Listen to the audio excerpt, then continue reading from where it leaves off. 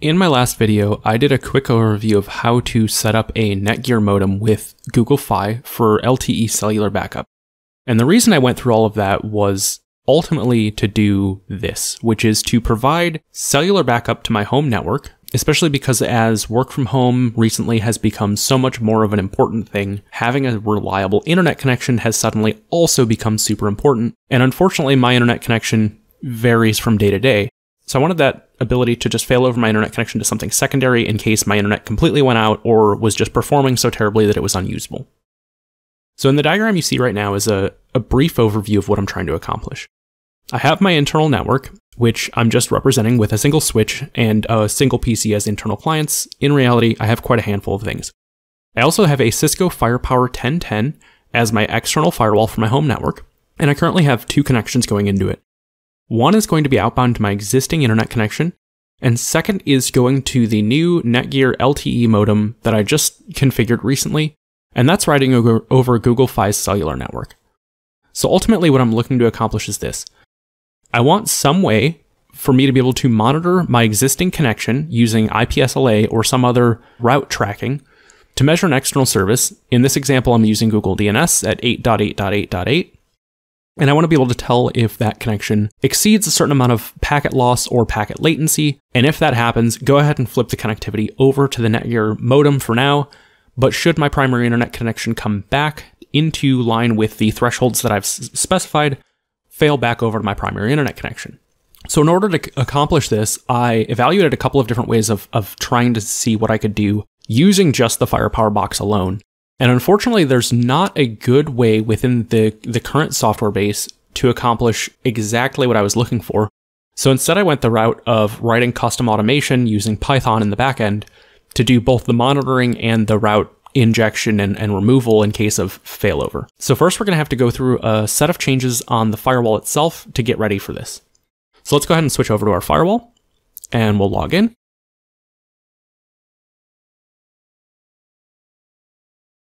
Okay, so the first thing we're going to need to do is configure our interface for the LTE modem. Now, as you can see in the diagram, it looks like ports 1 slash 7 and 1 slash 8 provide power over Ethernet, which will be helpful since I purchased the power over Ethernet variant of the, Net, the Netgear modem to reduce cabling and also benefit from my battery backup. So first thing we're going to do is go ahead and go down to interfaces.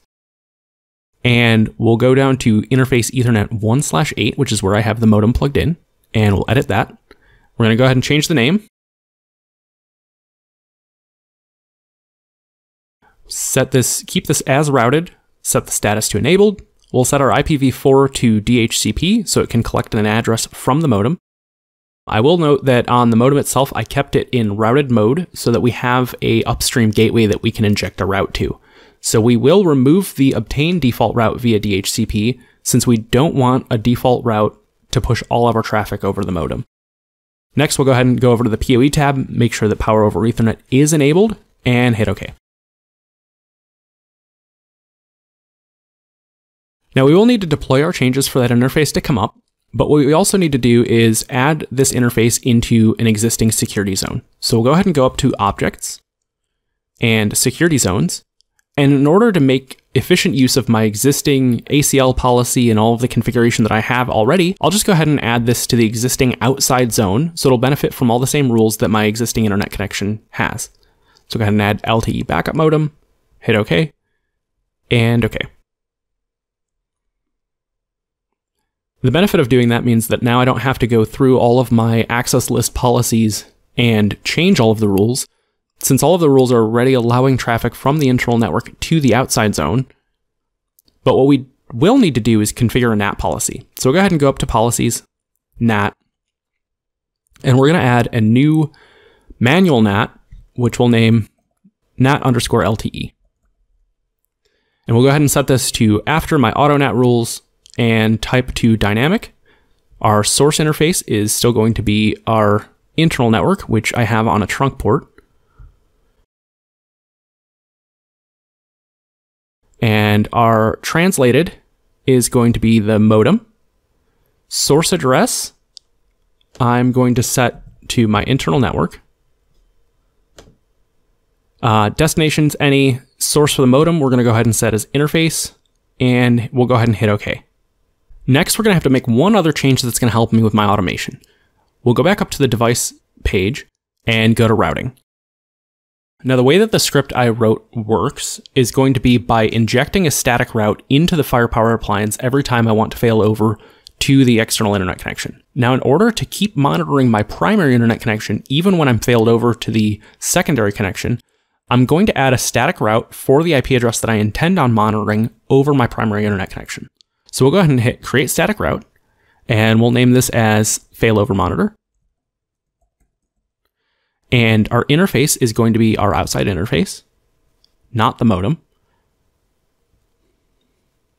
And for networks, we're going to create a new network. We'll create a host for Google DNS, which is going to be 8.8.8.8. Hit OK and add.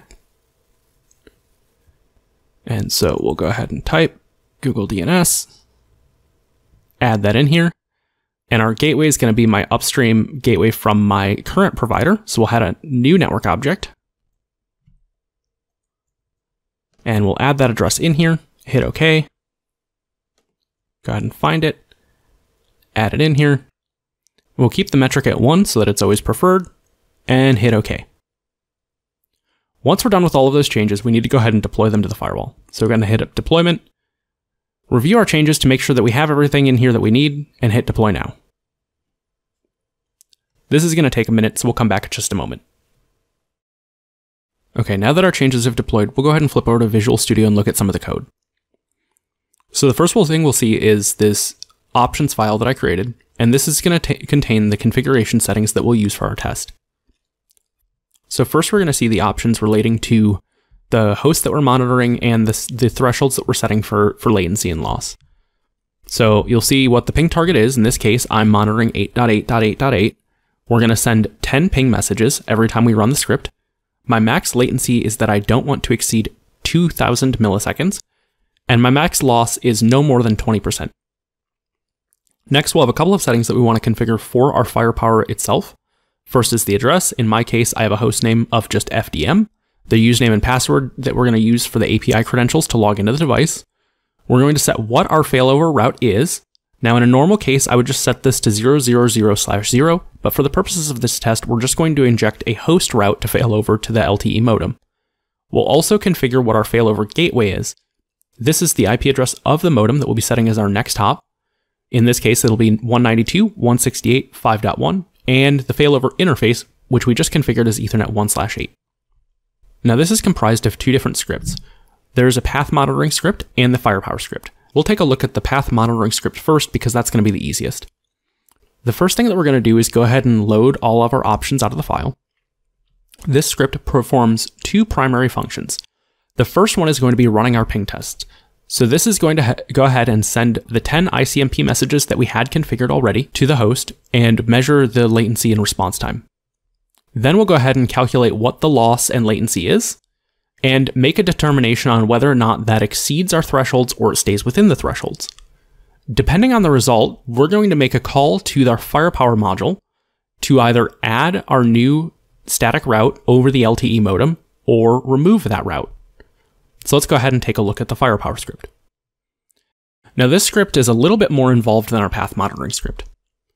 This module contains all of the logic for creating network objects, creating gateways, creating route entries, and automatically injecting and deleting the routing from the firepower device itself. So you have a bunch of config, including loading the options, the parameters for host headers and OAuth. We also have our config for authenticating to the firepower, getting the global routing table, adding our route, and removing a route. So this script is going to check a couple of different things every time it's run. So for example, if our loss and latency is within the thresholds and we're already on the primary connection, it's going to make a call to firepower to make sure that the static route still does not exist, and if it does exist, remove it. If it finds it, we assume that we already failed over in the past, but the primary internet connection is good now, so we want to go ahead and remove that route. In the event that our thresholds exceed what we're looking for for the primary internet connection, this script will go ahead and add a static route to our destination. In this case, it's a single host, but again, it could be just 000 slash 0 for a default route. If our thresholds are outside of the bounds that we've specified, This will go to the firepower, create any network objects and routing objects it needs to, inject the static route over the LTE modem, and then deploy the policy. Now, if it runs again and we're still outside the thresholds, what it'll do is it'll go back out to the firepower and just check to make sure that that route is still there, and if so, make no changes and quit. Okay, now let's go ahead and test our script. In order to simulate a failure, we'll go ahead and change the max latency to about 15 milliseconds.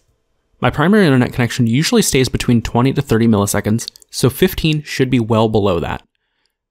Before we go ahead and run the script, we're going to run a quick trace route to check what path we're taking out to the internet currently. All right, and as we can see, that is going out my current internet connection. So now we'll go ahead and run our script. And we'll see pretty quickly that the average response time is 37.7 milliseconds, which is above our threshold of 15. And our script informs us that that does violate the thresholds that we've set, and it is going to go ahead and fail over to the secondary internet connection. And we'll see that it creates our, our routing object out to 9.9.9.9 via our gateway of 192.168.5.1. After that's been done and the route has been added, we'll go ahead and deploy the policy. Because policy deployments can sometimes take a minute, the script will continuously check to see what the status of our deployment is, back off for about 5 to 10 seconds, reach back out and check it again to see if it has been completed. Okay, now that our deployment has successfully completed, our script does inform us that traffic has been failed over to the backup connection. Let's go ahead and verify that by performing our trace route again. Alright, and as we can pretty quickly see, our second hop in the list is 192.168.5.1, so we are going over our internet connection. We can also validate this by going back to the Firepower interface, going to our static routing config, and we see that we do have our backup route out the LTE backup modem interface for the slash 32 host route that we configured via our gateway.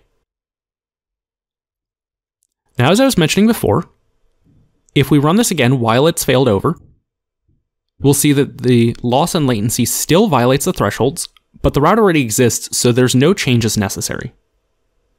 So let's go ahead and fail back over to our primary internet connection by updating our max latency back to the 2000 milliseconds and running our script again. Now in this case, we see that our average response time is only 55 milliseconds, which is far less than the 2000 milliseconds configured, so our loss in latency is definitely within the thresholds that we have specified. So next our script is going to go ahead and reach out to the Firepower device, find the existing static route that we have configured, and delete it. Then we go ahead and deploy the policy changes, which happened pretty quickly this time around. And now we can go ahead and check our traceroute one last time, and we'll see that the connection has failed back over to the primary internet connection. Again, we can verify this by going back to the Firepower device, and we look at our static routing config now, we have no host route out the LTE cellular connection. I hope this video was helpful, and if you're interested in using the script or learning more about it, I'll go ahead and post the code to GitHub. Check the video description for a link.